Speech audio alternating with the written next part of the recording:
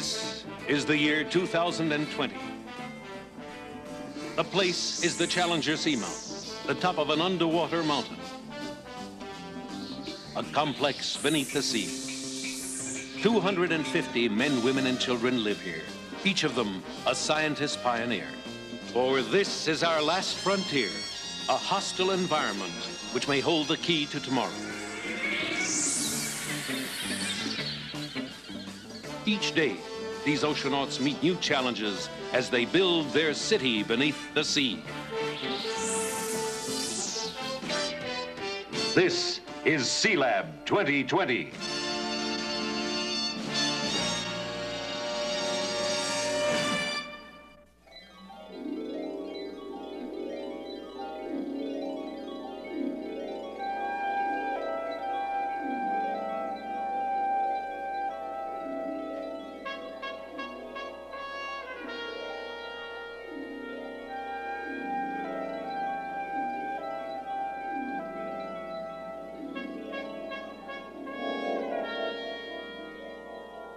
Just can't figure what that ship's doing out there. What's the problem, Sparks? A surface ship steamed up to the east edge of Seamount an hour ago, and now it's sailing back and forth like a tractor plowing a field. Have you tried to contact the ship? Half a dozen times, but no response. And it's not on a voyage plan, not the way it's moving. Keep trying, Sparks. This is Sealab calling CQ. Come in. CQ, come in. Paul, take a look over there. What's causing that? You're the oceanographer, you tell me. Something's chewing up the bottom out there. That's what it looks like. Any of our divers working the current? Nothing that would cause that mess. Better check it out, Paul. Right away, Captain. All right, crew, let's go through the list. Tanks full, watches check out, All set, sir. Okay, Here too. depth gauges, ready. compasses. Check. Let's get wet. After you, Dr. Williams. We'll check communications underwater. Grab your hand scooters and scoot. Let's go.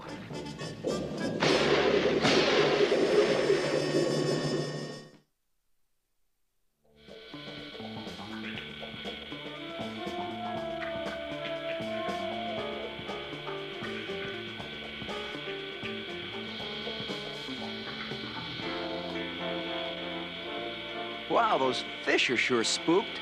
Look at them go. Slow down. We're at the edge of Seamount. That silt is still being stirred up. What's that wild sound? Listen. Do you hear it? Yes, I do now. Where's it coming from? Down on the bottom. An undersea dredge. Someone's mining nodules with that thing. And chewing up the bottom. It will kill every living thing in the water if we don't stop it. That mining machine has to be shut down or we'll be out of business. It's sure causing one big mess. Let's move in closer.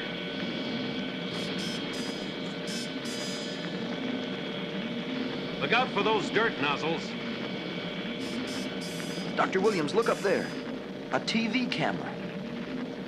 They must be guiding this dredge from that surface ship. They're drawing the mineral rocks up to it. You're on camera, Hal. I've got a message for them. I hope they read me. Hey, something's happening. Everything stopped. Looks like they understood you. Now what? Take a look. I think we might have visitors.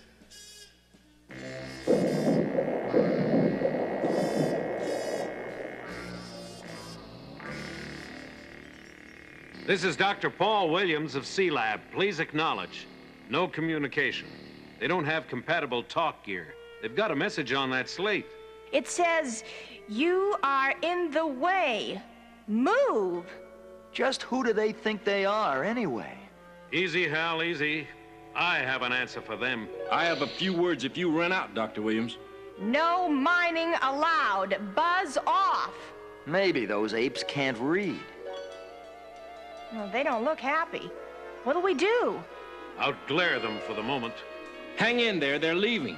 Yes, but not very far. They're putting your message on TV to get an answer. I think it's negative. And that's bad news.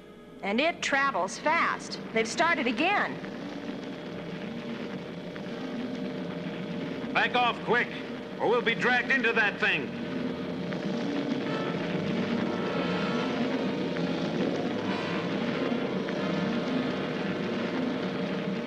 I'll close its TV eye. No, Ed.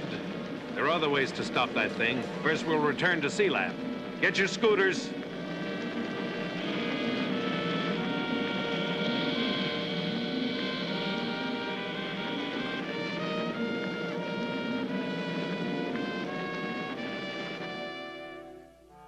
Any luck yet, Sparks? They're answering this time. Here comes the picture, Dr. Williams. This is Sealab to Dredge. Dr. Williams would like to talk to you. Dr. Williams. Yep. And you? Samuel H. Carlson. And that's my dredge your people have been interfering with. Now, what is it you want? Your dredge, Mr. Carlson, is causing havoc down here. Don't you know this is a marine preserve? By what authority? International Ocean Agency, the IOA. Ah, a lot of scientists have signed a piece of paper. Doesn't mean a thing. Now you listen. No. You watch for a moment. I want you to see what I've spent half my life developing. All automated, Dr. Williams. All designed to bring up what the world wants. Minerals, manganese, cobalt, nickel, copper. And worth, Dr. Williams, a conservative $10 million if I can get them back to land, which is exactly what I've contracted to do. He really means business. I should have chucked this nodule. The oceans, Mr. Carlson, have many nodule deposits. You could mine where you won't do so much harm. But very few places where the pickings are so ripe. Just tell your people to stay clear of my dredge and we'll all get along just fine. That's my final word. Top priority, Sparks. Immediate priority message to the IOA. Ready, sir. Need immediate help to stop mining exploitation of Sealab Preserve. Silt. The water's full of it. If this lab could sail like a destroyer, I'd have more than words with Mr. Carlson, I'm with you, Captain. But we have laws and rules for this sort of thing, don't we? which some people don't follow, young lady. Reply coming in from IOA, Dr. Williams. We'll send team, but first need evidence what Dredge is doing. Tell them we'll comply, Sparks. Hal, Gail, Ed, I'm sending you out to make a videotape movie of Carlson's mining operation. We're almost there, judging by the silt level. Maybe the dredge moved away. No, look, it's still there. Still destroying the bottom and messing up the water. It's worse than strip mining back in the old days. Ed, you and Gail lock out with the cameras. I'll keep Deep Diver ready to go, just in case. Let's go, Ed. All set.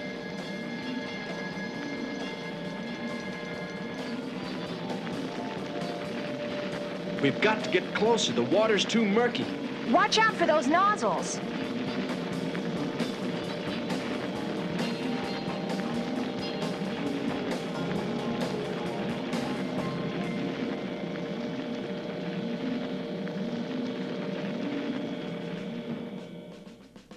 It's those Sealab divers again. And they're filming the dredge. Not for long. Reverse the pumps. Yes, sir.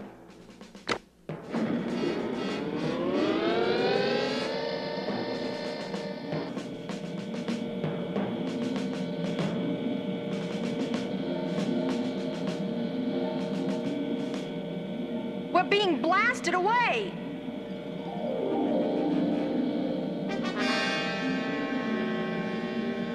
Let's get out of here. Remember what you said about showing Carlson the damage he's doing? So? So let's get him down here. I don't see. You will. We're going to catch ourselves a dredge. Just keep that tape rolling.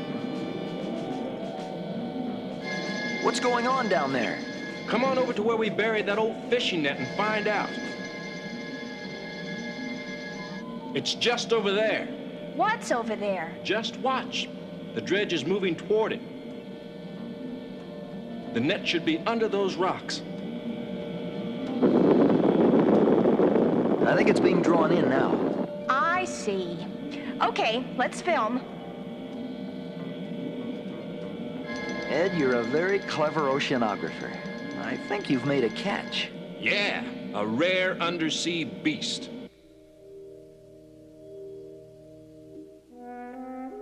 We did it. Get back. He's trying to blow out the net. Gail, Ed, come in. They've stalled out. Okay, Hal, but let's stand by. Think that'll bring Carlson down? We shall see. Completely jammed. Have the divers ready to go in five minutes. And get my computer lung with communication gear. Yes, sir.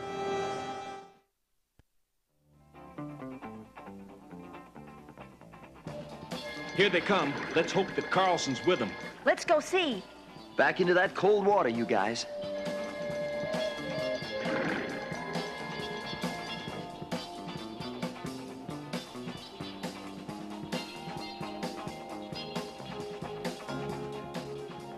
Is that you, Carlson?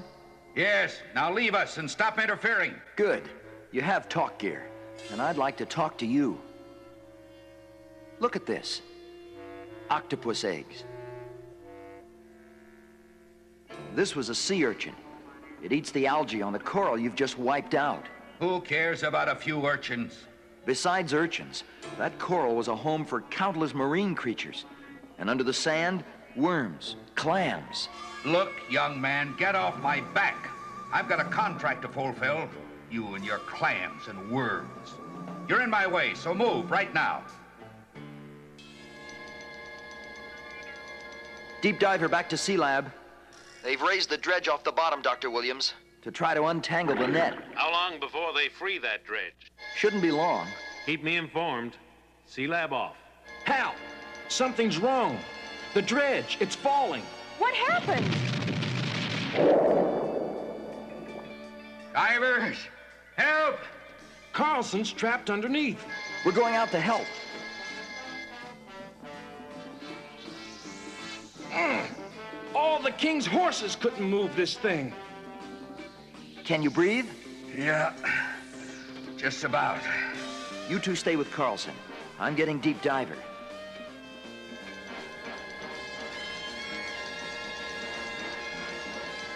Now to get a good grip on that monster. Be careful, Hal. That's got it. Move it out. Are you all right? Not so good. It's my ribs. We better take him back to Sealab in the dock. You're lucky. The x-ray showed only a fractured rib. I should thank you. But if those kids hadn't interfered, And saved your life. for that I'll thank them. Now, if I can have my diving gear, I'll return to my ship. Not until you're decompressed. Listen, Doc. I'm going now. You'll get the bends if you surface without decompression. You'll need three hours in our chamber. Three hours? I never needed that. You're getting older. Come on, the sooner you start, the sooner you're out. All right, Gail. Time to show Carlson your home movies. I'll get the tape set up. This is a real captive audience for our film. One more hour to go for decompression. Projector on. Carlson doesn't seem much interested in our movie. He's interested, all right. He's just trying to ignore it. I don't think ecology was ever his interest anyway. He's not listening. He's asleep. Hey, nice shot, Gail. Thanks. It's time to bring him up another 10 feet. How about waking Carlson up? But, uh, come on, come on. Turn off that fool picture. We'll turn it off if you listen. And I mean really listen. Any luck with him? We're trying. Okay, go ahead. I'm listening.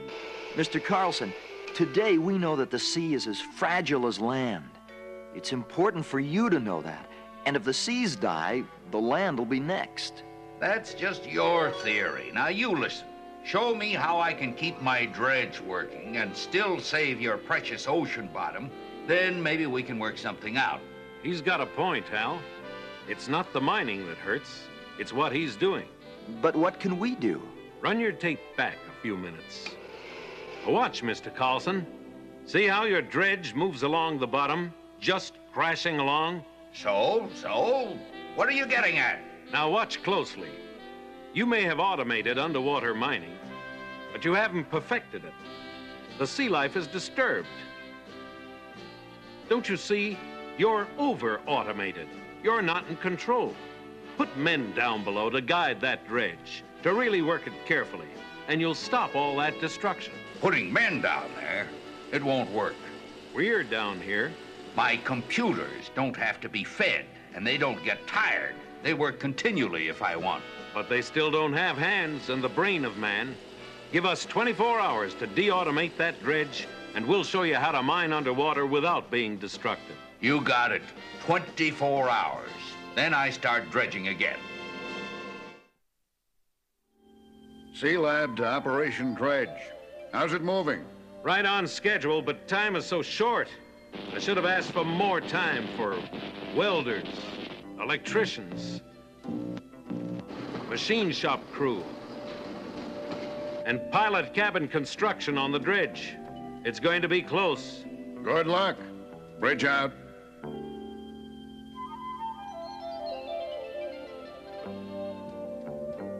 What's that supposed to be? It's the manual control. This motion turns the dredge, and this one raises it. Hmm, Like an aircraft control, hmm? Mm, Right at your fingertips. You've got two hours. This had better work. We'll test it right now, Mr. Carlson. Dr. Williams, ready to test. You've got power, Ed. Go easy at first. Control on. How's that? So far, so good. Turn on the suction pumps. Pumps on. Stand by. It's working. It's pulling in nodules. Without touching the ocean floor. Now move it over to that coral head. Over the top, Ed. Lift it, Ed. Turn on the lift jets.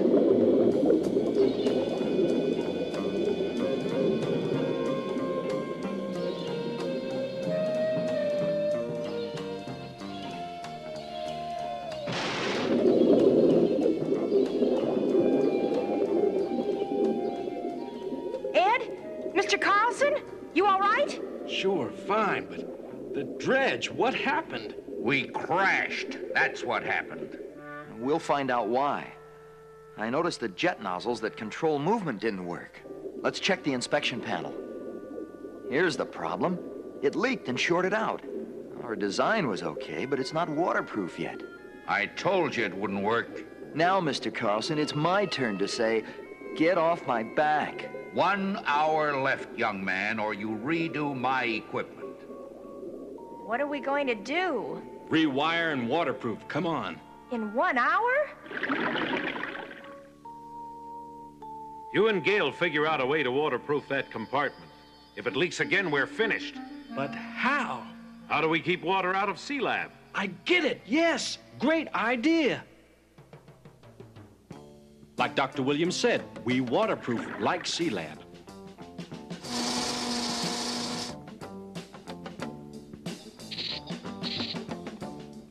Which means we keep the pressure inside greater than the pressure of the sea. No leaks. Now, drill another hole at the bottom.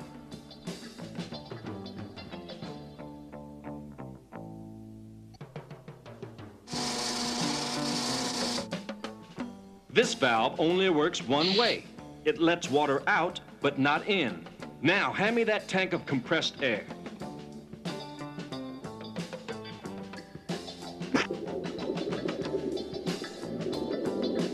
Presto! It's dry inside. Ingenious. Tell that to Dr. Williams. Think it's gonna work? It's got to. Time's almost up. Your hour is gone. We're ready.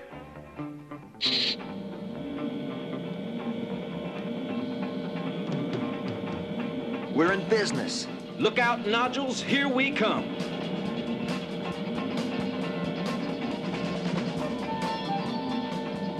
it's not harming the seaweed? Or fish, or... Now, try it over the coral.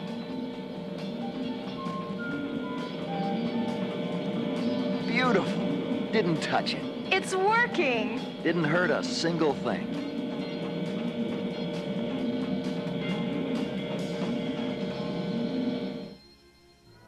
Tell the IOA team there's no need to hurry. I think we'll have a pretty fair demonstration to show them now. Do you think those young people of yours would help train some of my men? You'll have plenty of time to ask them from our recompression chamber. It'll take a good five hours before we can send you out. Oh, no. Not again. But this time, no more home movies. I promise you.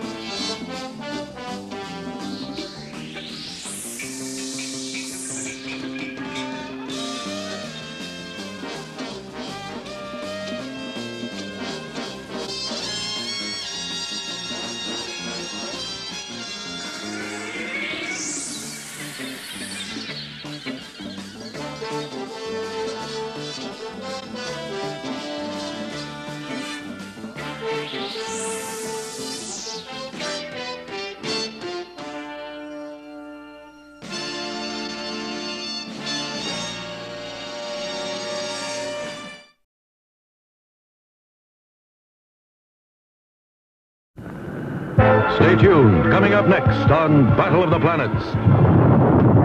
The space program of Center Neptune is attacked by Captain Doom, a space pirate from the distant planet of Urgos. Will G-Force find a way to silence the powerful and destructive laser whip? Join G-Force on this exciting mission as they track the deadly Captain Doom across the galaxy to his secret base on planet Urgos. And Princess use their Cerebonic powers to subdue the weird mechanical dragon? Or has Captain Doom lured G-Force into a fatal trap?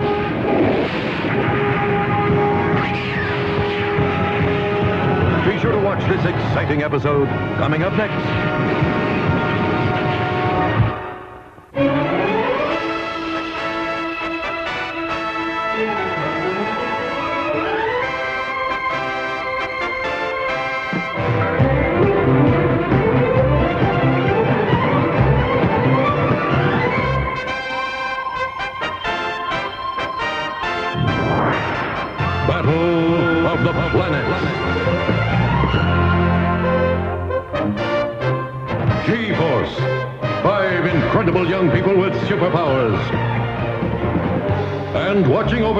Center Neptune, Seven Zark Seven.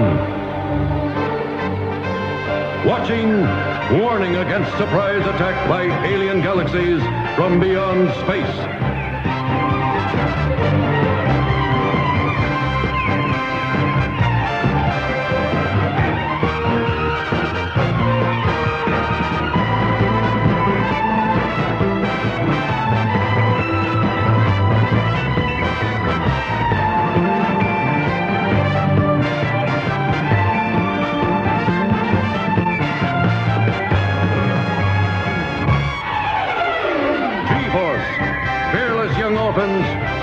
Earth's entire galaxy. Always five, acting as one.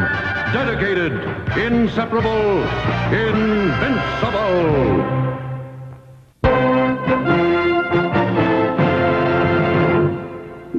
It may look very calm and peaceful down here at Center Neptune, deep beneath the sea, but it's been a regular beehive of activity for some time, I can tell you. I've been burning the midnight oil faster than they can supply it.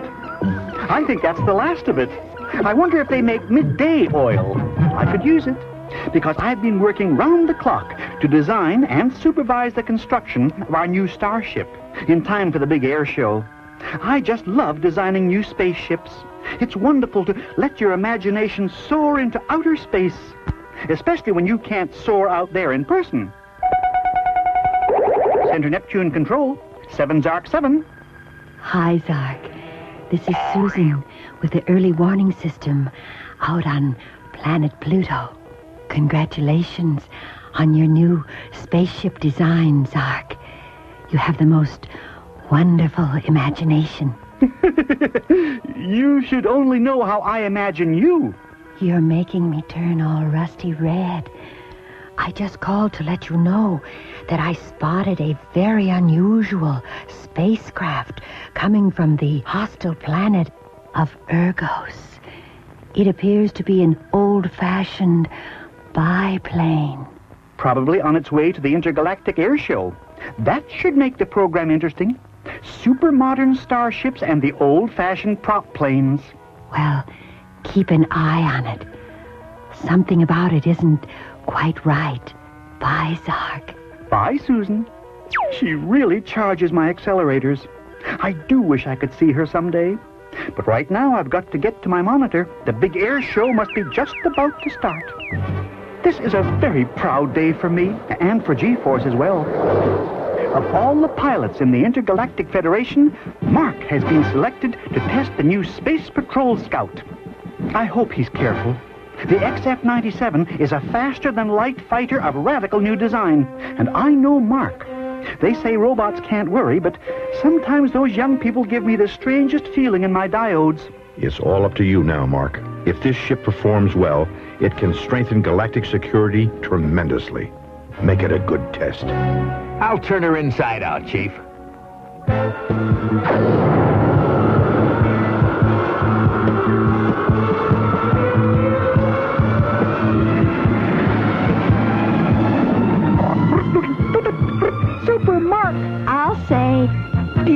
Beautiful. She's climbing like a homesick angel. I'm turning to... Whoops.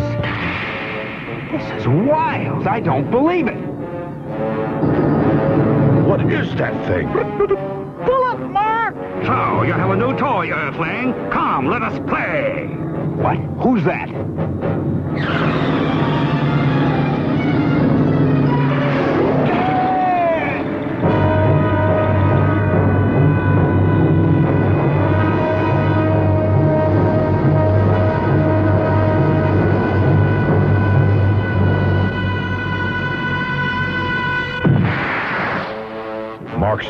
That thing forced him into the ocean.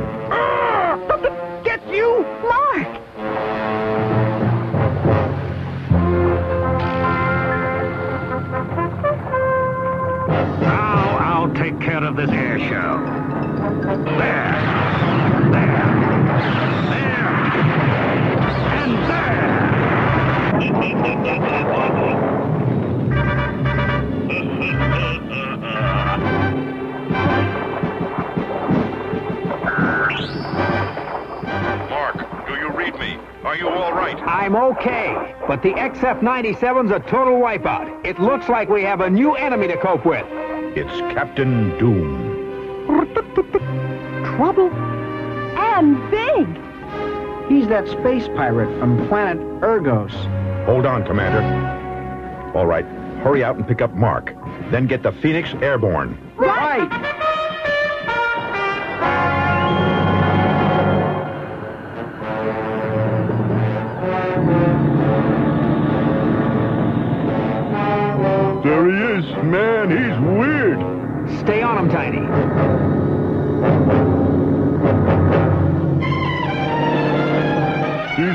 He's heading right for us, Mark. Hold it right there. Don't give him an inch. So you have still not learned your lesson, G-Force. Once again, you come to challenge the power of my laser whip. He's not turning off. We're on a collision course.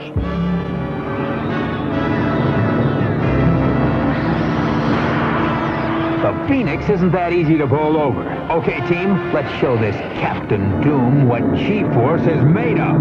Now it's our turn.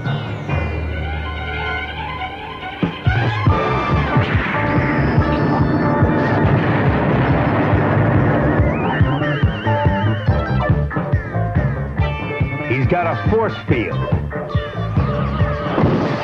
Rudder's gone. It is a long way to the ground, G-Force. I will say my farewell now, before your final plunge.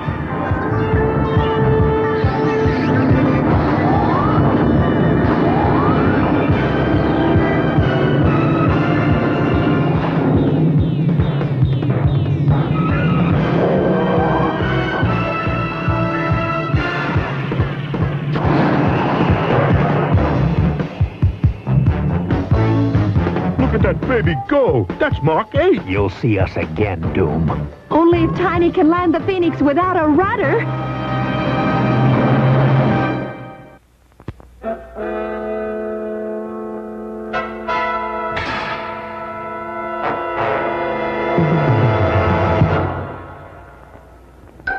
This is fantastic. Then the scientists were able to get a sample out of the smashed rudder. Oh, yes, we got a sample all right, but we still have one problem. They have no idea what it is.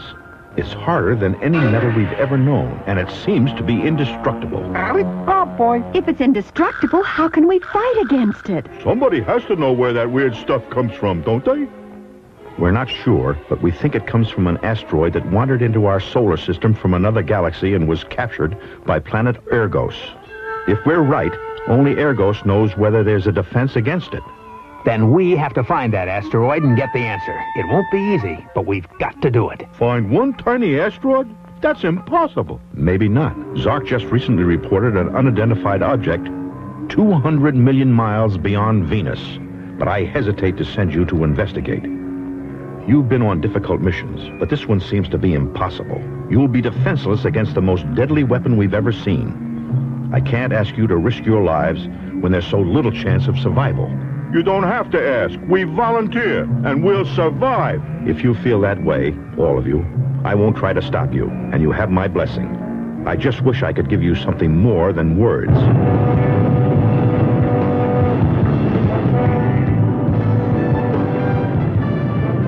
You've cleared our solar system, Commander. Lock your flight pattern, set controls on automatic, and I'll put you in time warp.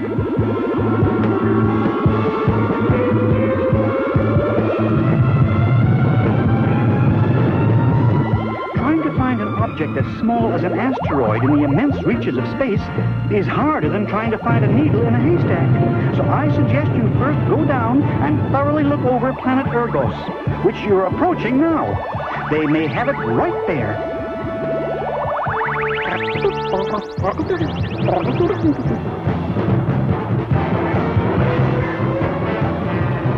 You're now flying over planet Ergos. Turn on your infra scanners and keep a sharp eye out. Good luck, team.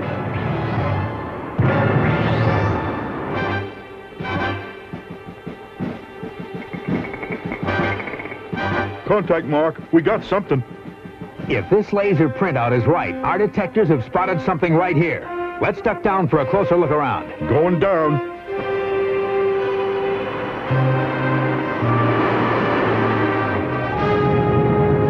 Jackpot! The enemy neighbors are home. Evasive action, Tiny.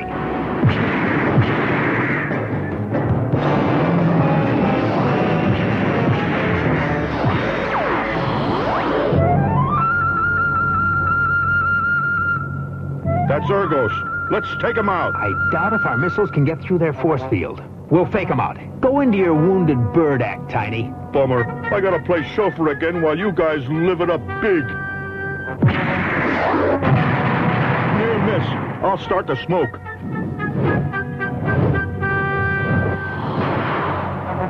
Open up, Tiny. We're going.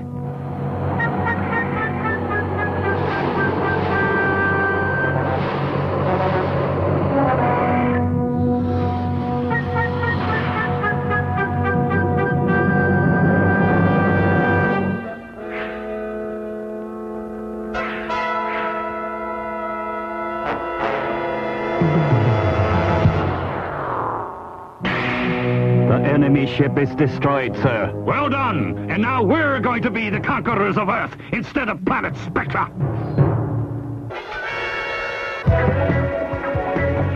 Quick, inside. We can just make it.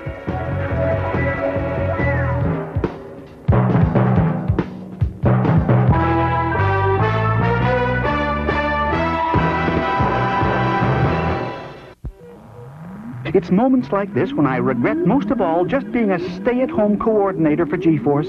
I want to be out there, battling alongside them. Then I wouldn't have to stay alone back here at Center Neptune and worry. And I do worry about G-Force. They're like my family.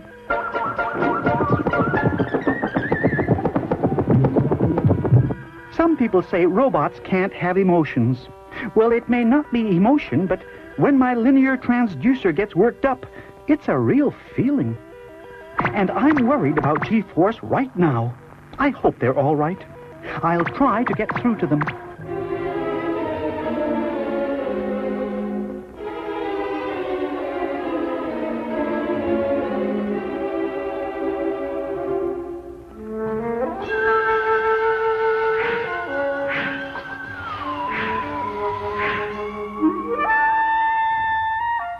Okay, now that we found the way in, what? Suck it to him. Down, boy. Mark, don't you think we ought to send Princess and Keyop back to the Phoenix? This one is dangerous. Maybe we should send you back, Jason. Knock it off.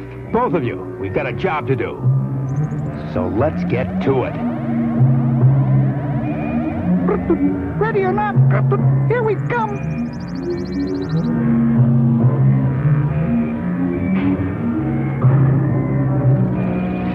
Only one guard. We'll put him out for an hour.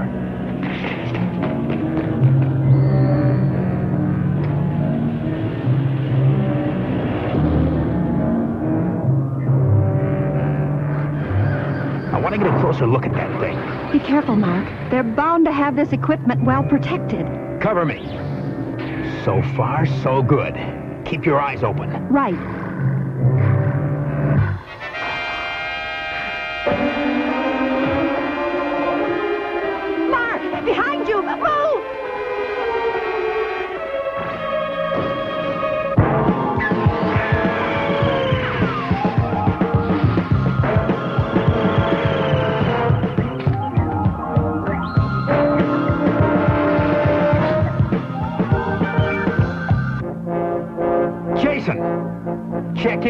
Give me a rundown. Where are you and what's going on? We've got some kind of generator. Whatever it is, it won't be here much longer. We're about to put it out of business. Stand by. You'll hear the noise. What's this? Earthling fools! Did you think you could invade the planet of Virgos without being observed by our forces? Your presence was detected the moment you arrived. And now, fools, you shall pay for your invasion. Throw down your weapons. Yeah. Be ready to move. Fast. All, all packed.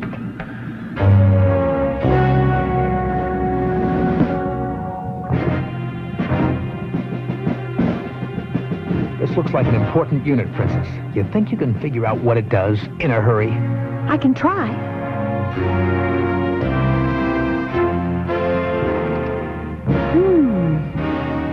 I hate to push, Princess, but... Uh-oh.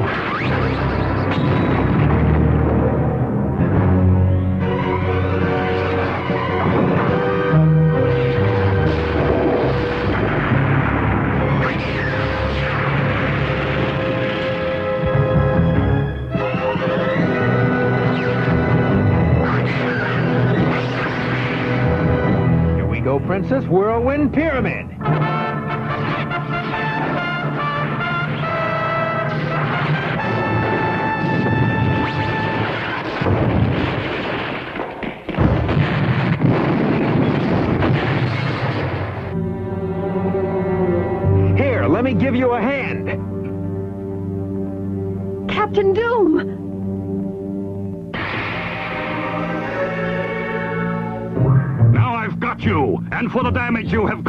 You shall pay dearly. Prepare yourselves.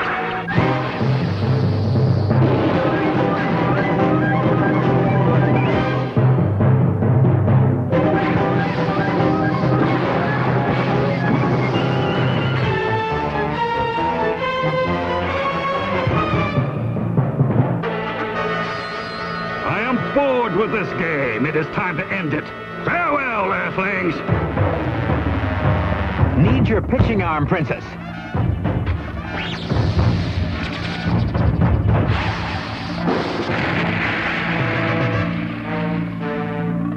You made it interesting. But now, my Earthling friends, we must put an end to it. These weapons you found, Keyop, will take care of the generator. Oh, look at it go!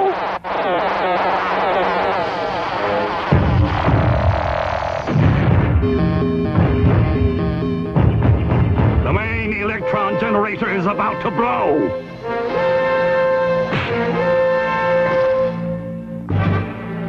He vanished into thin air. Mark! Let him go! Let's get out before this place blows up! Jason, Keyop, rendezvous. Rendezvous and move it.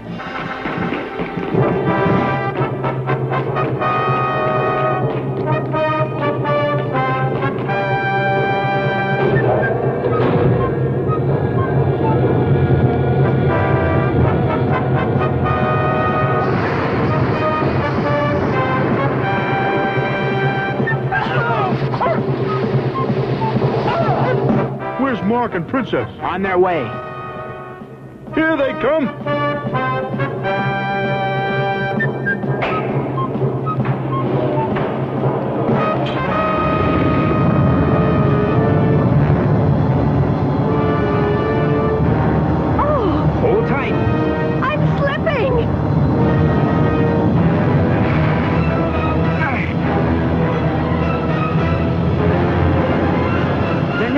Make it in time. It's gaining on them.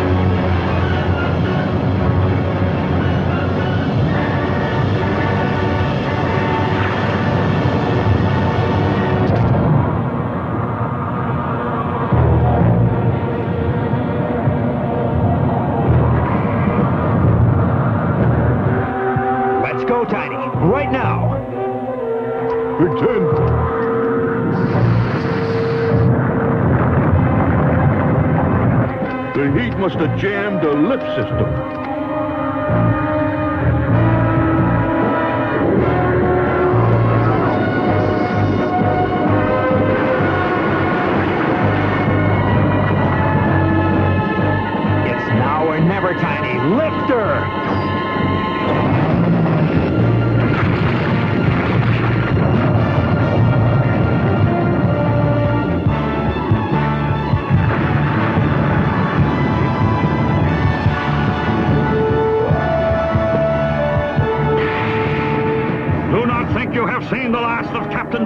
Earthlings.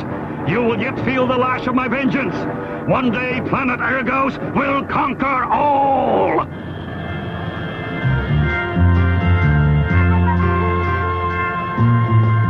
This has been a terribly dangerous mission. And I think I know now how human mothers must feel. My G-Force team is coming home safe and sound. I know they'll be going out again pretty soon, but right now I think I'll just open a fresh can of oil to celebrate. I guess now that Captain Doom is defeated, they'll be making plans for another big air show. but the beautiful new starship I designed and invented was destroyed. Thanks, One Rover One. I needed that. Hi, Zark. And one Rover One? Hello, Princess. This is an honor and a pleasure. I just wanted to give you the good news. They want you to rebuild your starship for the next air show. Well, that is good news. I thought I really had something there before Captain Doom whipped it to pieces. It's a beautiful design, and you'll do it again. You're a genius, Zark. oh, my. I feel all tingly inside. It must be that new oil I'm using. The last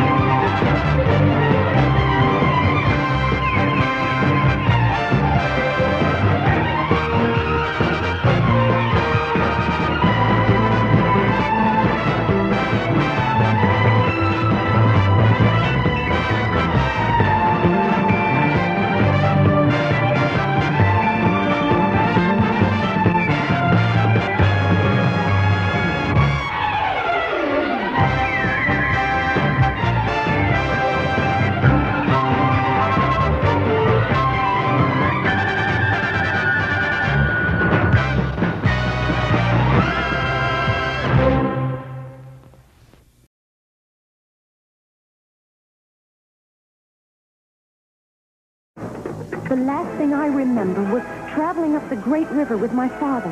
He had just given me my special necklace when... I was rescued by Montaro, a noble descendant of a lost warrior tribe, endlessly searching for my lost father. Montaro, Tico, and my jaguar ghost helped me guard the jungle and those who dwell within it. I grew up by the laws of nature, and the animals of the jungle became my friends. I am Jana of the jungle.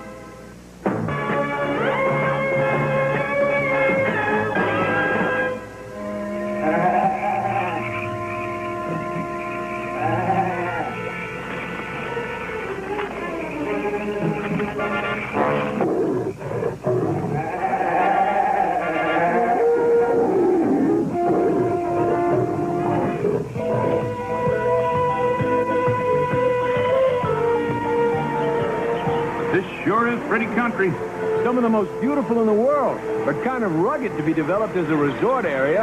Our investors back in the States don't think so. In fact, we're prepared to make the local tribe an offer we don't think they can refuse. The Arisa are poor people, Mr. Harrison, but they love their land just the way it is. And so do I.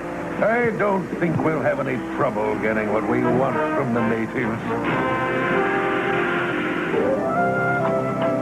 How many times have I told you not to talk with your mouth full? I think her eyes are bigger than her stomach, Jana. What are you going to do with the rest of that, Tico? I think that will be her dessert. Going hunting, Ghost? Be careful! A jeep approaches. It must be Ben Cooper. Come on, Tico. River crossing coming up. But where's the bridge? In this part of the jungle, a shallow spot in the river is the bridge.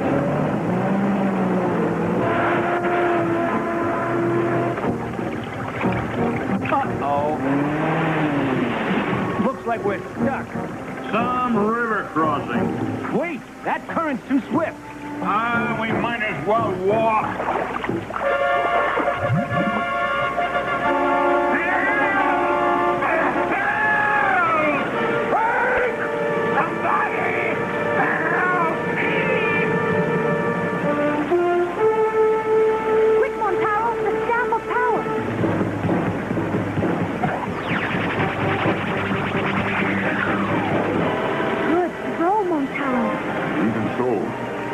Still caught in the river.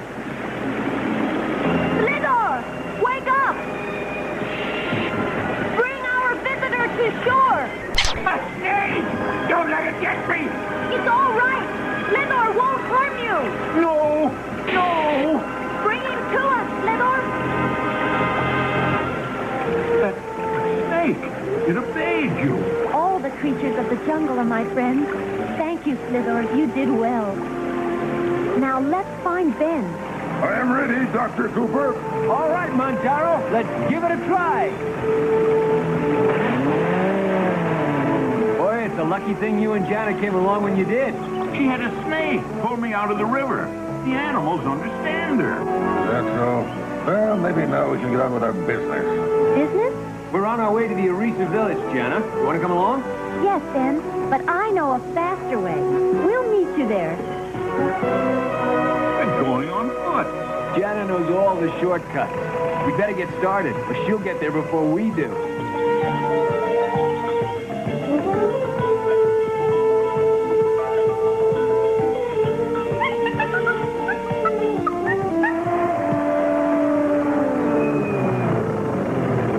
One of these days, Jana, I'm going to get somewhere before you do. Come on. The village of the Arisa is just ahead. Harris, look. The old Indian was right. There's a fortune in emeralds here. That's a blow. Chief Tandor. Jana, you have come at an unhappy time.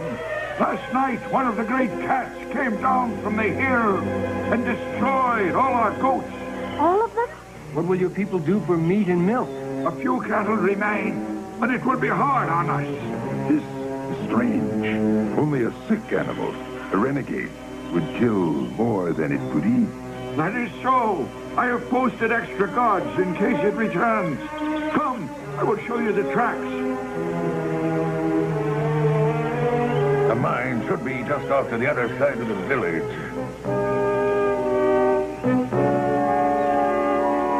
These are jaguar tracks. What's the matter, Chico? Strange sound? I don't hear anything.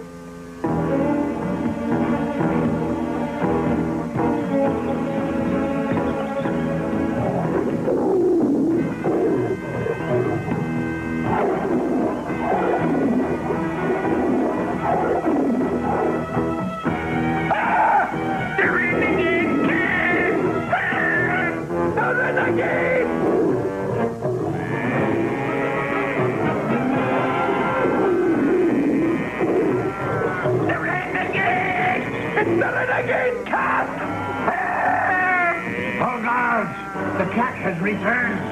That way!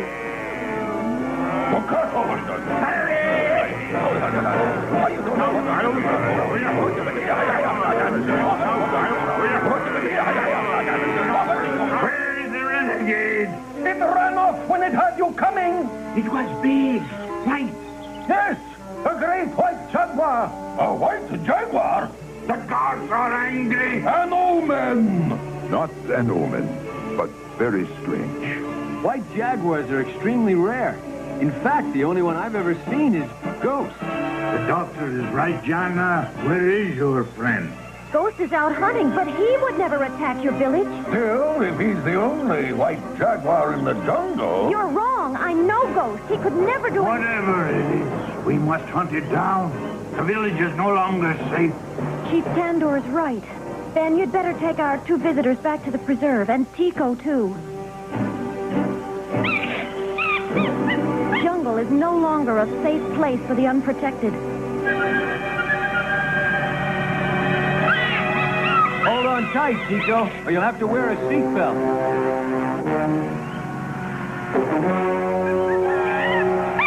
Tico? What's that, Mr. Harrison? Uh, this? Why, uh, it's a, it's a good luck piece. Better not let Tico see it. She can't resist shiny objects.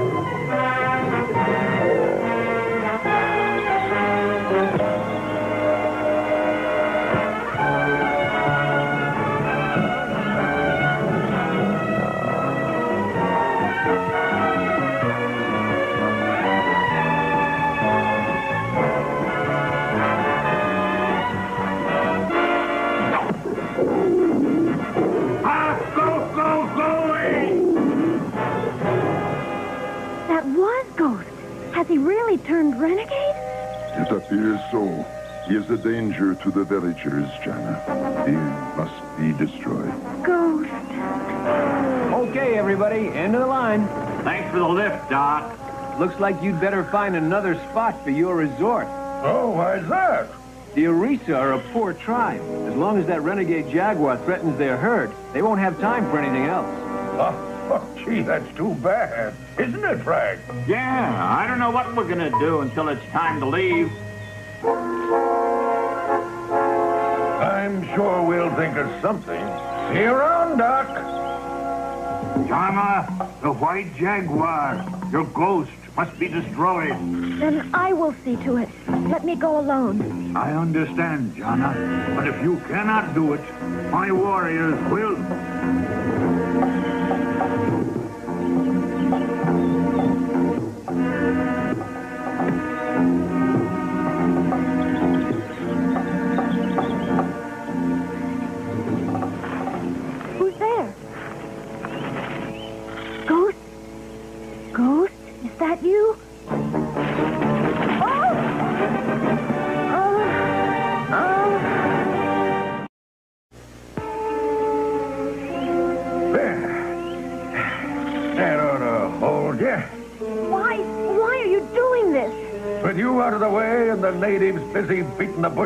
Bushes precious ghost. We'll have a fortune in emeralds, and there won't be anyone around to stop us.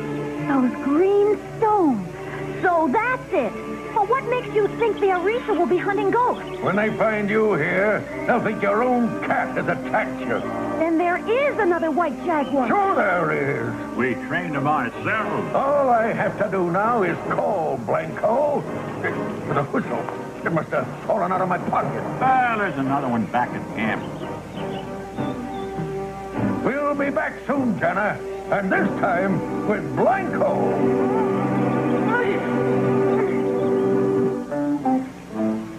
With a renegade jaguar loose, Jana's gonna need all the help she can get. Right, Tico? Hey, careful there, girl. These things are loaded with high-powered tranquilizer. You don't want to fall asleep on the job, do you?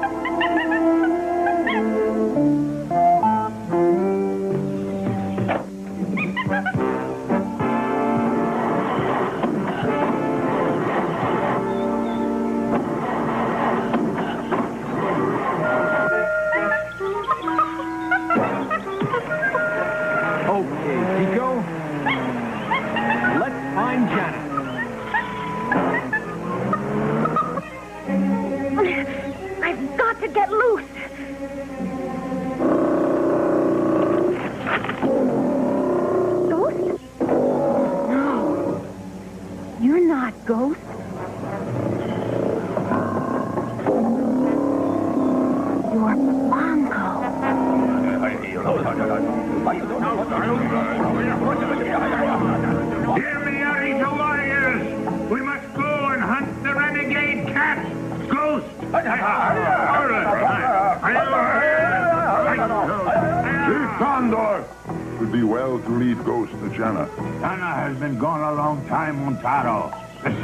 Our village is at stake.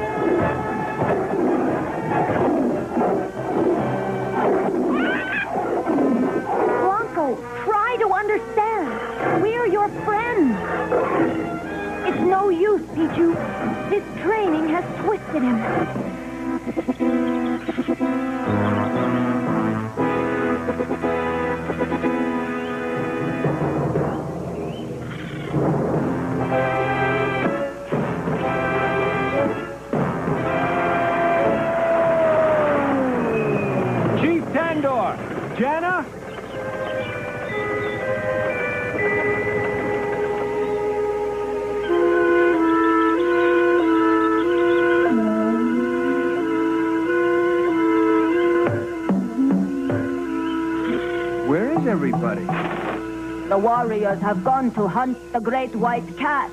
We must wait inside until they return. Oh, uh, thanks.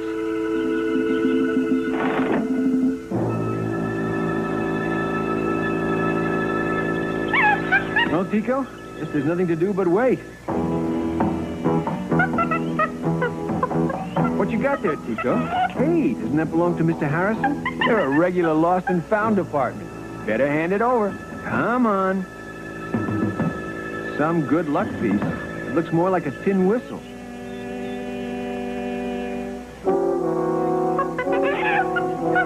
This? But it's broken. Oh, I get it. It's an ultrasonic whistle. But what would Harrison be doing with a dog whistle in the middle of the jungle?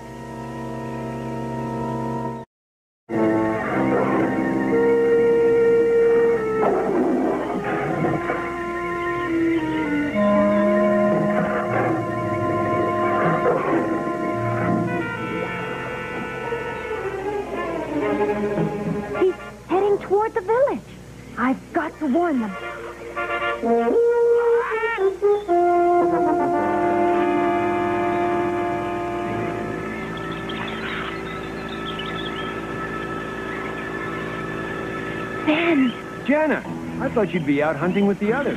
Don't move, Ben. The hunting is happening right here. The tracks are fresh. He can't be far ahead of us now.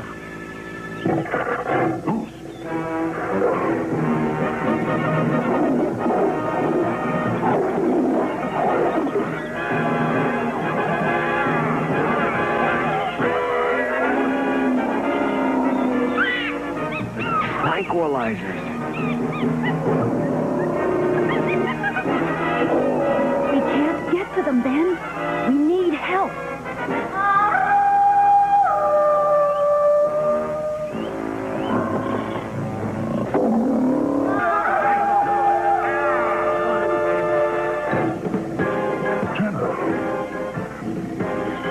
But if Ghost is the renegade, why is Jana calling for help? Something we do not understand. I understand that we have cornered the renegade.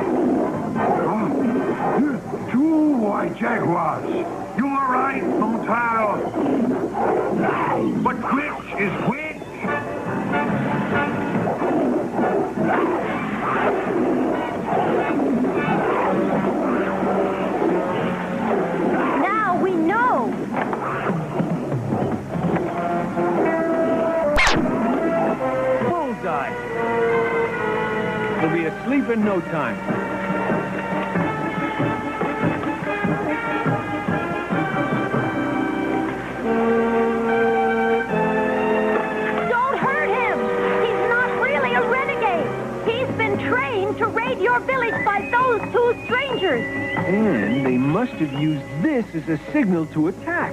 Where are they now? That should do it. Some real beauties. We'll live like kings once we get back to civilization. Come on. Load this in the jeep, and we'll get out of here.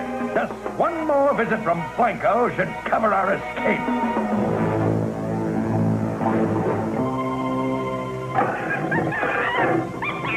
That's how Chico acts when she hears Harrison's whistle. Then they must be nearby. Ghost, show us where the whistle is coming from.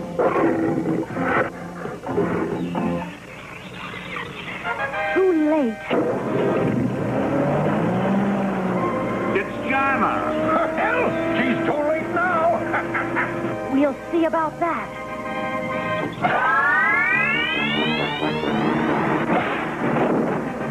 What the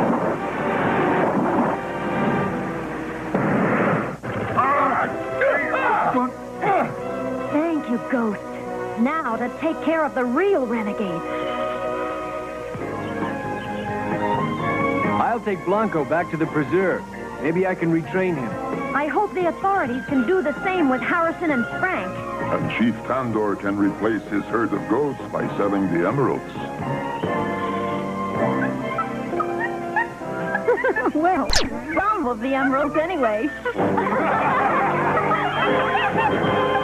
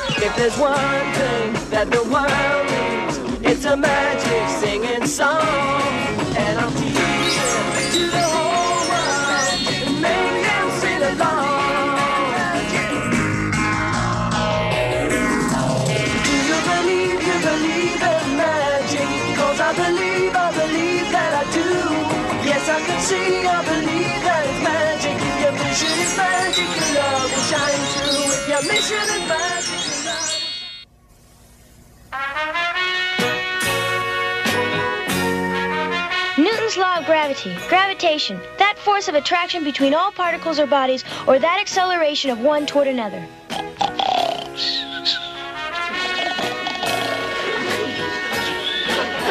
Class, I think we need a little demonstration.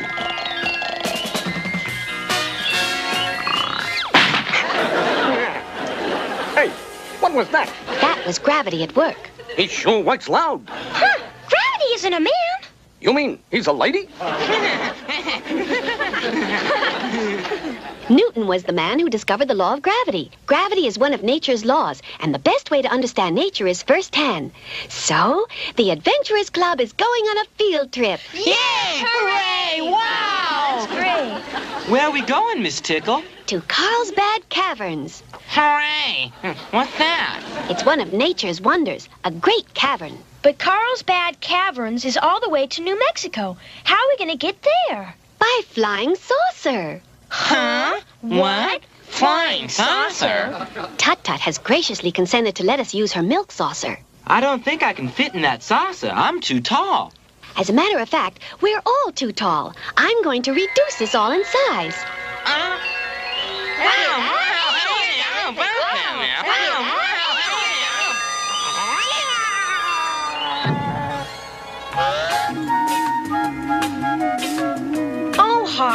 when are you going to get over this silly fear of heights? When I'm on the ground.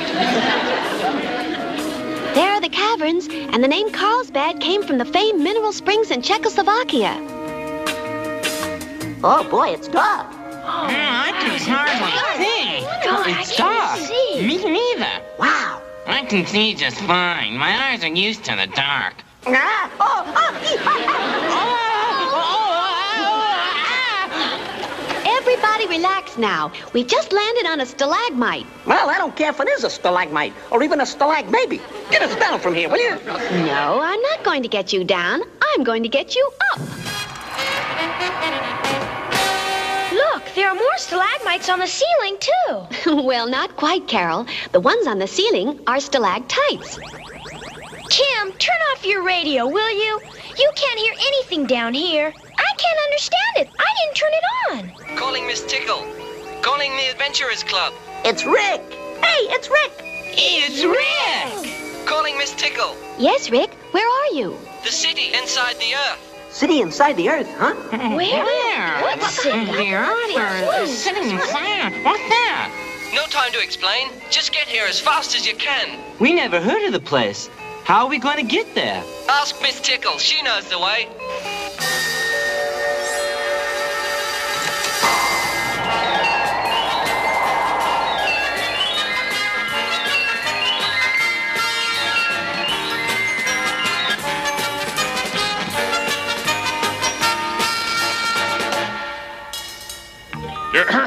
and on behalf of our fair underground city, as your humble servant and mayor, I hereby place this cornerstone in, in, in honor of. Eh, hey, hey, what? Come back here!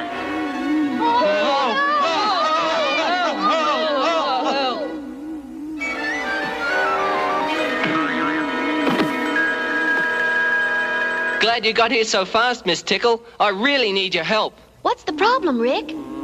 That's one of the problems. Weird G forces. Hey, what's, happening? Hey, what's happening, man? Wow,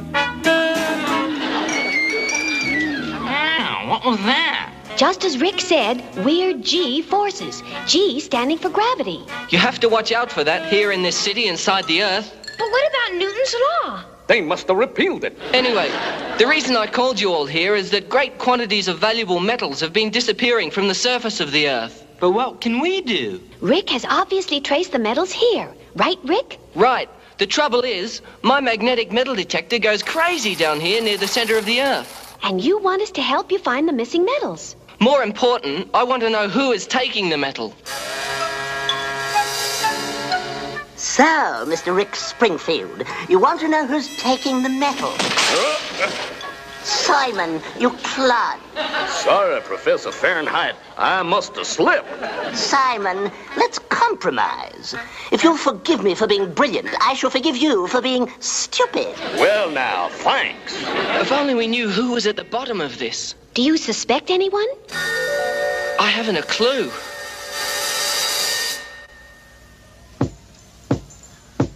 Am I going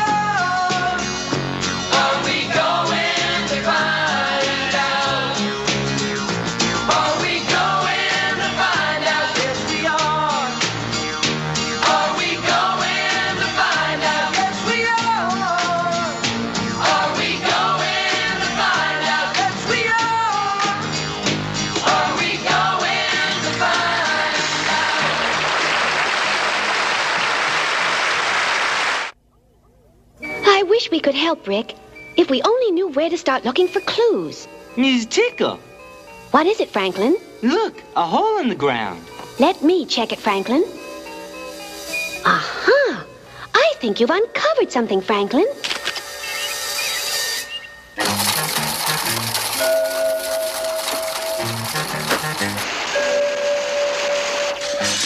Simon, Uh, sorry, Professor.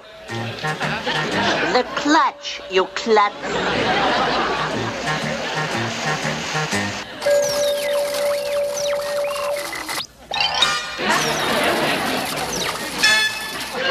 The clutch, the clutch. Simon, we've made an excellent haul. Let us return to our laboratory. All righty, Professor. No, no, Simon, the other way. Once more, Simon. Which way is down? Simon, if anyone ever puts a price on your head, take it.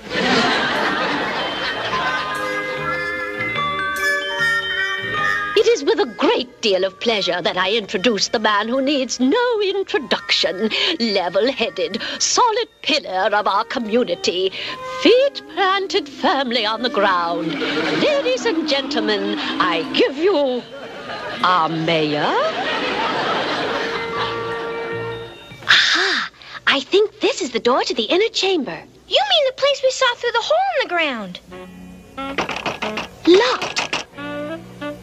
Use your magic, Miss Tickle. Chamber beneath the earth's floor. Let us through your open door. What's wrong, Miss Tickle? Hmm. There's something about this place that's negating my magic.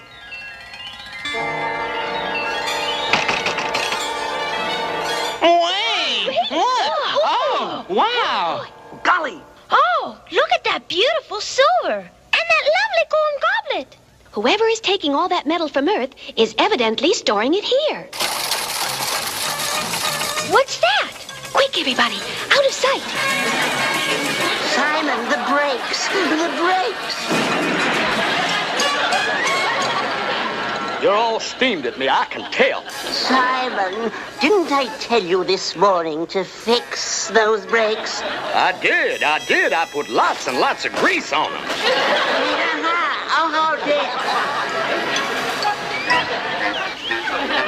was that? Mice. Aha, someone's in here. but I anticipated it. I know you're in here, and I know who you are. You can't spy on me and get away with it. You're trapped. Do you hear? Trapped. Uh-oh. That's where I put the net. Simon, get me out of here. Miss Tickle, who are they? They must be the ones who are taking all the metal. Look who's here. Ah, ah, Simon, you nitwit. Get off my back. I'll, I'll get you out of here, Professor. Just as soon as uh, I get there. Out of here. Ptolemy, I think we're about to uncover a couple of net losses.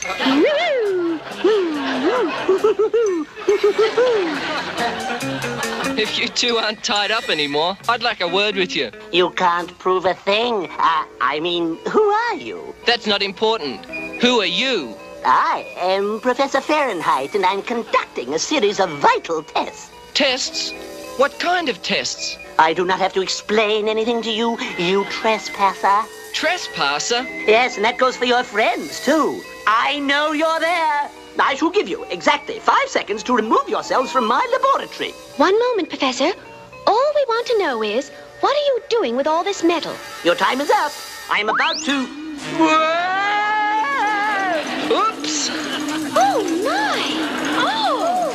Oh! Hey!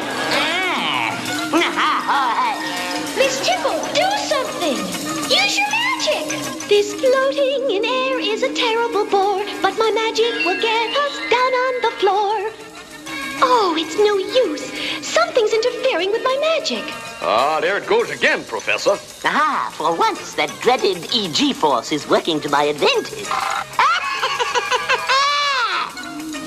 hey, what's this? Help! Hey, Rick. Yeah, help us. Hey. Oh. Hey! What's this? Help! Help!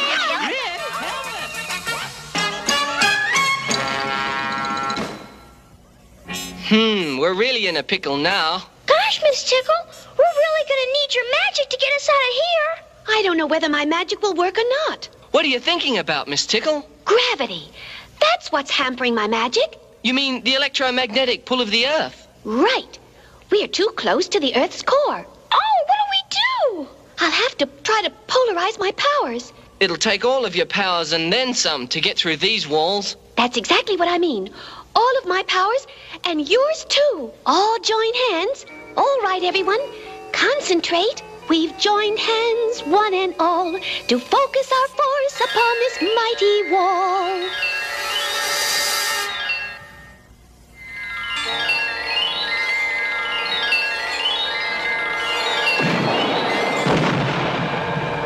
Yay! We did it! We did it! Wow! Oh! oh!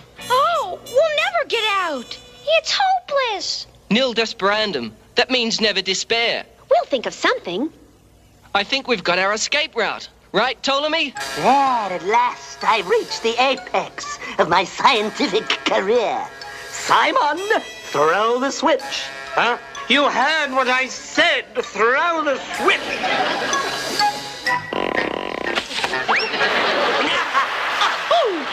Well, he always gets kind of mad, and I never know why. I just do what he tells me. Now, the strategy, Ptolemy, is for you to fly a line up to that opening. Aha, so we can climb up. But we don't have a line. We will if my limited magic will work.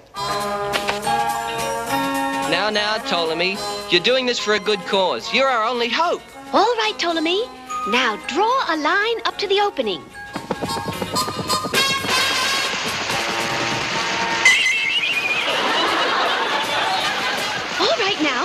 Everybody cross your fingers. We'll need all the concentration we can get. Magic chalk mark on the wall, turn to rope and save us all. All right, it worked. I'll climb up, and you tie the rope around yourselves, and I'll pull you up. But what if that opening goes nowhere? It's working. Do you hear? It's working. Despite your bungling. Throw the switch. Yeah, it's working. Uh, but what is it supposed to do? I'll tell you what it's supposed to do. It is going to stabilize the erratic gravity here in the underground city. At last, I finally found the right combination of metals to turn the trick. Now get in. Uh, where are we going? To the underground city Department of Water and Gravity. Oh, didn't you mail the bill this month? Yes, get in! the clutch, the clutch! We made it! You got the rope tied around yourselves down there? Yeah!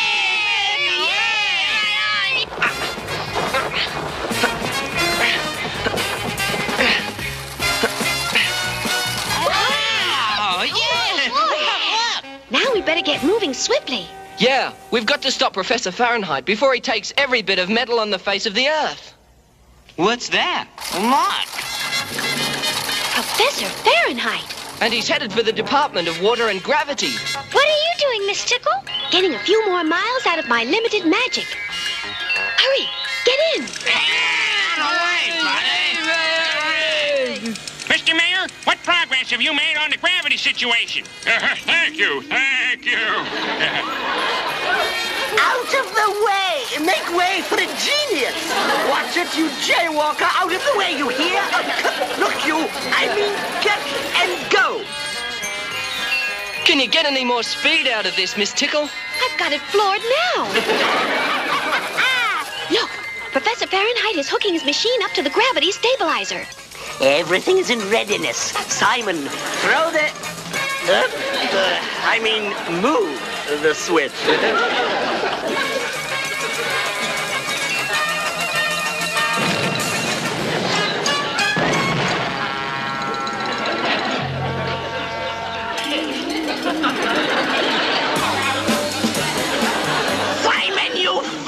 fool! The one time you do something right, it still comes out wrong! And in conclusion, I promise to get to the bottom of this gravity situation, even if I have to turn the city upside down. Help! Miss Tickle! Help! Hang on much longer. My magic can no longer be ignored. Let all things to normal be restored. Hooray, Miss Tickle! Your magic worked! Your magic worked! That's right. When Professor Fahrenheit's machine blew out the gravity power, there was nothing to interfere with my magic. It's a good thing Rick was there to hang onto our plane. Yes, we'd have to come down with a bang. Simon, you've ruined everything. Just look at my machine. Now I shall never get gravity stabilized. What was that? Oh, all that testing, all that metal I took from Earth, all for nothing. You mean that's why you took all that metal? Why, certainly, I'm not a common thief. Huh? What happened? How did everything get back to normal? Miss Tickle restored it with her magic powers. Yes, but the machine could have been repaired quickly if only Professor Fahrenheit hadn't taken it all upon himself. Are you telling me someone else could have fixed the gravity stabilizer? If you hadn't been on an ego trip, you could have called upon the many competent engineers in your underground city to help you. Well, I guess it was too much for one genius. Genius? Uh, somebody call me? I think we heard somebody call for a genius. As I was saying before I was interrupted, nobody can govern our fair city by himself. It takes teamwork. And if elected, uh, uh, let, uh, let me see. Uh, let me see here. Uh, There's one thing you can do by yourself. Oh? What's that? You can return everything you took from the Earth's surface. Of course, we'll give you a little help. Right, Rick? Right, Miss Tickle. Ptolemy and I will give the professor all the help he needs. I'm sure the professor won't give you any trouble. After all, he was aiming to please. it's just that he was a poor shot. Seriously, Rick, the professor is proof that you can't judge the taste of a cake by the way it's decorated. We'll be heading for home now. Well, now, gee, wasn't that Miss Tickle swell? Ah, yes. Well, don't just stand there, Simon. We've got lots and lots of work ahead of you.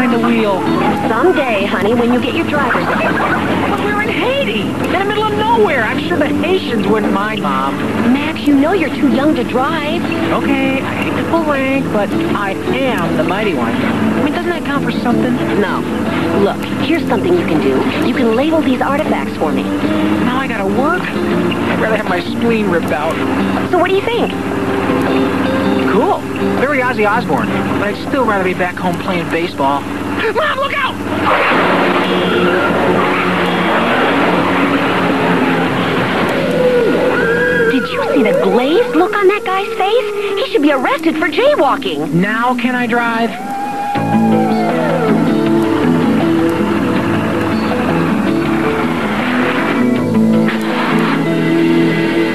It appears whoever was here left in a hurry.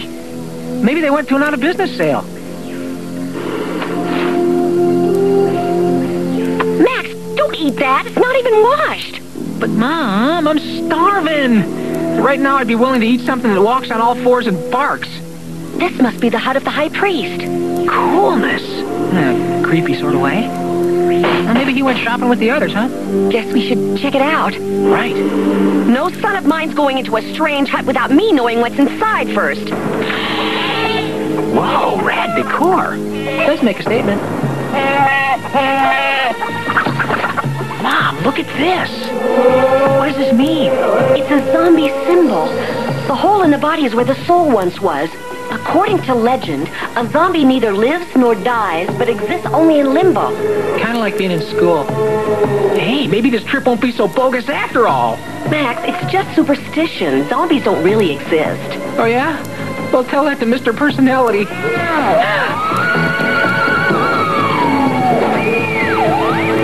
What are you gonna do with that thing? I don't know, Mother. I thought I'd ask the big guy out for a game of stickball.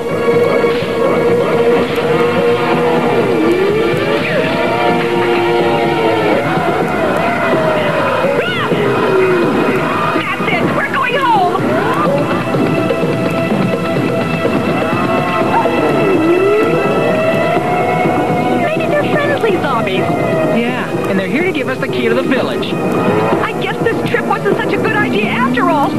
Hey, beats another vacation in Pacoima. Ah! Get away from my little boy, you, you zombie! Yeah! Are you okay, Mom? Hello! You must kill the loa! Ugh, like some sort of a parasite. Or a real ugly mole.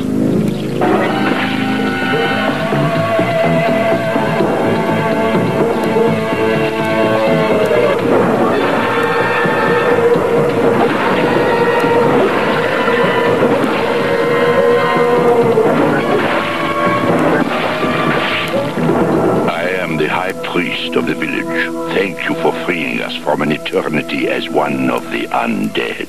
Hey, no problem, bro. Yeah, all in a day's work when you're a world-class hero. So what are those nasty-looking things anyway?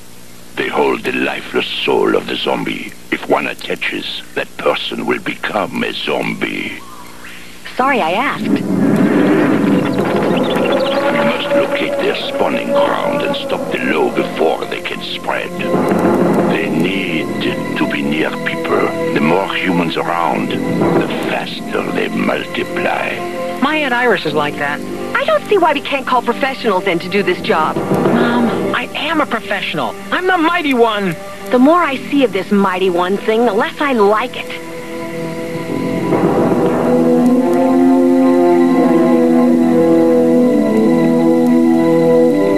Something tells me this place isn't open to the public. Somewhere beyond lies the spawning grounds of the zombie loas. You know you're not supposed to be carrying around matches. He's really not a bad boy.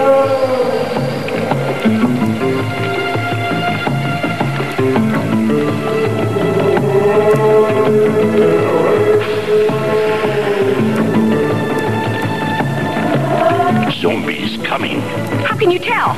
because they're standing right over there.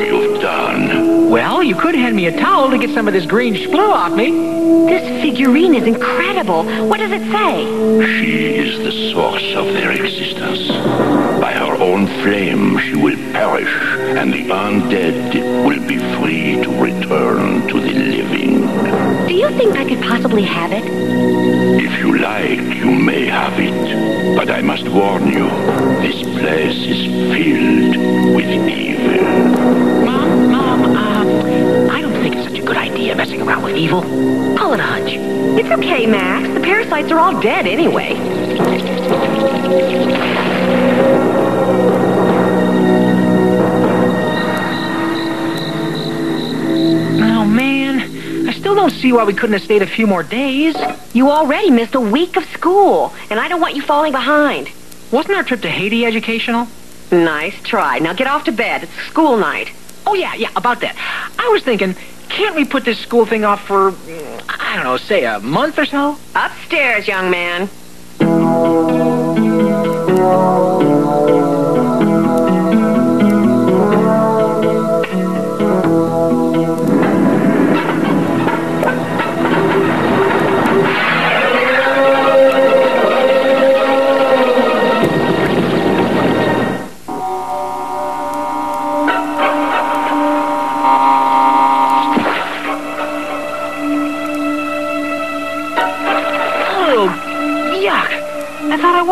When I got home last night.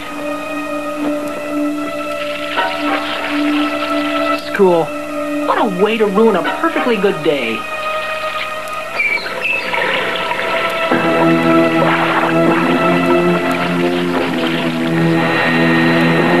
No time for breakfast, Mom. I'll just grab a candy bar at school.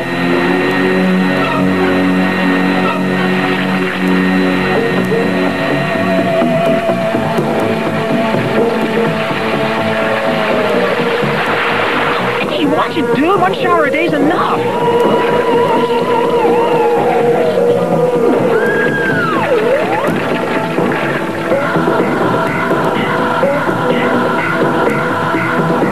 Oh, I must be suffering a post-zombie delusion. Gotta see the school nurse.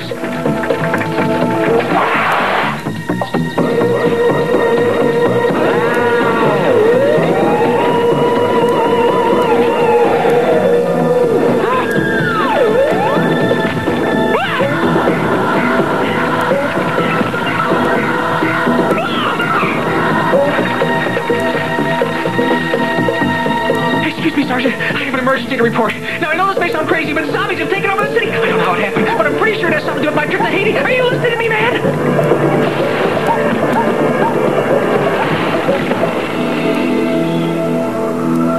How did the parasites get here? I mean, we didn't take anything home with us. We didn't bring any fruit or anything. Oh, no. The figurine. They must have been inside. Mom? Mom!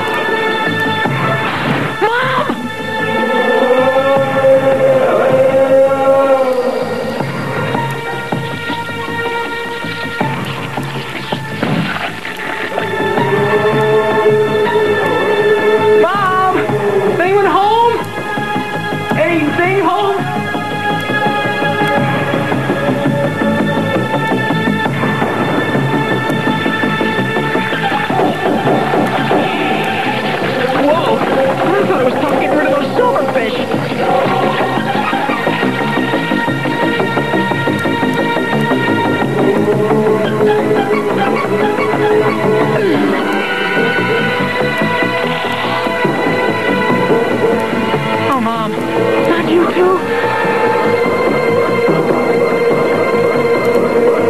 I hope you're not going to take away my allowance for this, but it's for your own good, Mom.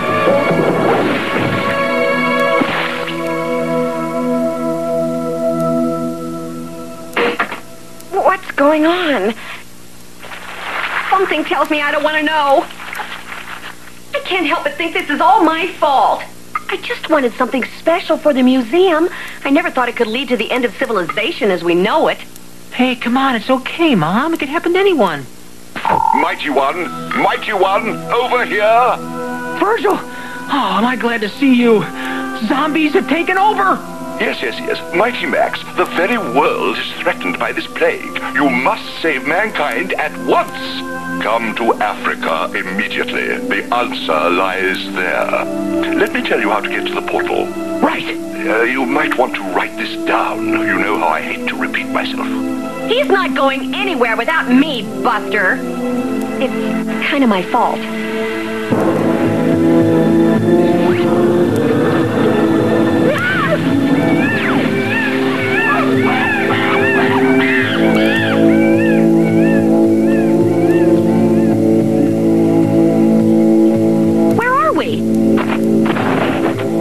Middle of an ancient burial ground.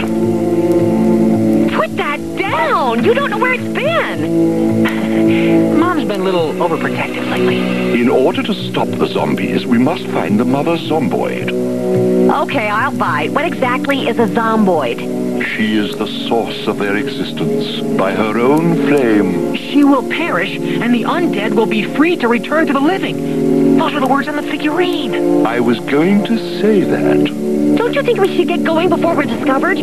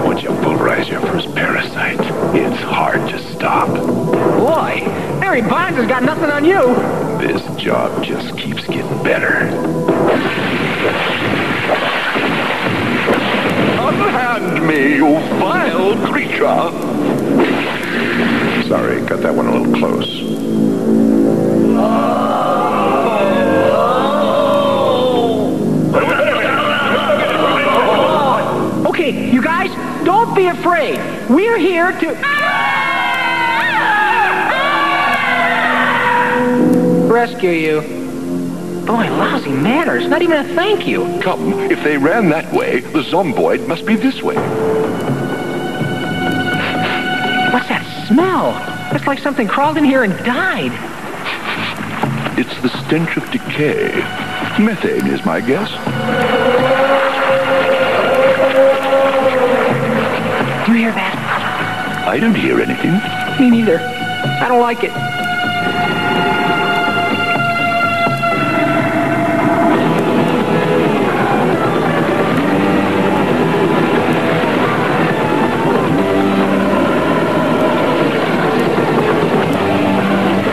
Believe we may have found the mother zomboid and her young. Yeah, I noticed the family resemblance.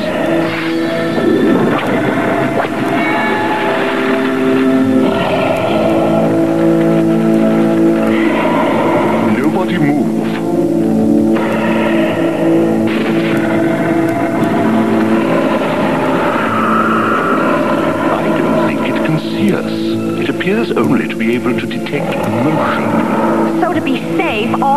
We have to do is stand here for the rest of our lives and not move? By her own flame, she will perish. Perish? Who will perish? If I can just get close enough, I can stop the zomboid. Or vice versa. Great. I don't have any matches. Remember the matches I took from you? Here, son. Mom. You're not gonna try and stop me? No. I guess I finally realized it's not my job. Now, do what you have to do. After all, you are the mighty one. Here's your chance. Hey, hey, over here!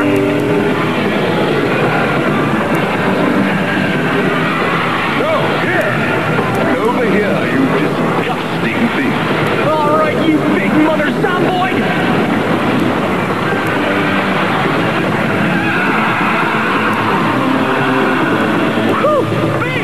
Rick! You ever hear of underarm deodorant? The Masters!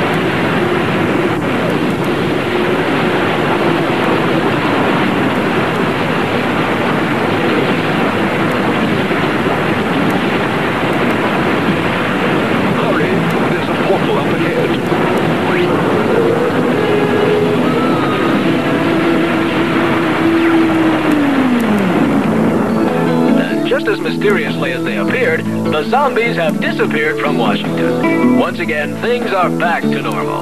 Unfortunately, the government is still moving as slow as ever. Well, everything's A-okay again, Mom. You did well, Max. I'm proud of you. By the way, did you finish cleaning up all the dead parasites? Of course, Mom. I got every last one of them. I left no stone unturned. You know you can trust me to do what you tell me. Oh, I trust you, Max. I truly do. Now, about your room.